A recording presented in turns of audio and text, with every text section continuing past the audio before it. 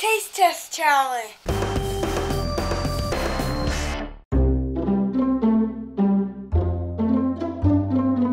We have both A, B, and C. I have to get which one is Werther's Original, Cracker Jack, and Fiddle Faddle. Let's do a taste test. Uh, This is a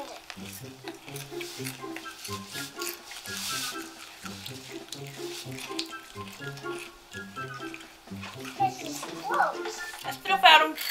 This this is you think it's you think it's It's not going to work. It's definitely Cracker Jack. This one. Mm-mm, this one. I knew that was Cracker Jack. This one's Fiddle Faddle. I think so. This This would have to be Werther's. So, so yeah, I got him correct right off the bat just by looking at the pictures. Wow. Rub- Werther's has a very strong caramel flavor in it. It's caramel popcorn.